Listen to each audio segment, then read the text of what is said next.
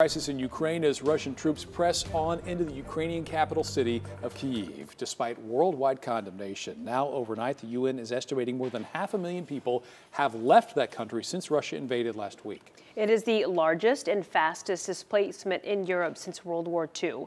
Meantime, negotiations between Russia and Ukraine have been taking place overnight near the border. Ukrainian President Zelensky had already admitted to having low expectations for any breakthrough. Now, a major battle is underway in Kharkiv Ukraine's second largest city, where Ukrainian troops managed to push back their attackers' siege. U.S. officials say Russian President Vladimir Putin underestimated the Ukrainians.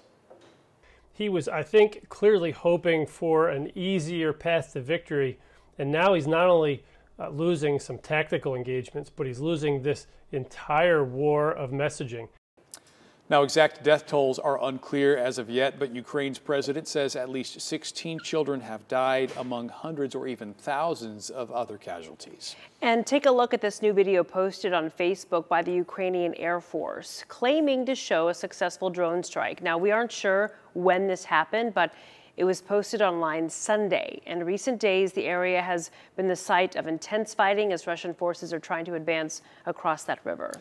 Rallies have been held across the globe in support of Ukraine as that Russian offensive continues. Some in North Texas, at least three separate rallies were held yesterday, one from a courthouse in Tarrant County to houses of faith, people standing in solidarity with Ukraine.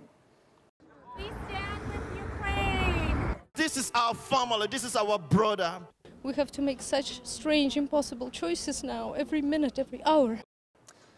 Many of you have asked just how you can help the people of Ukraine right now. We have compiled a list of 10 organizations that are looking for support. We've posted it on our website, but if you'd like the link, you can text the word HELP to 214 977 6028 and we will respond with that link straight to your phone.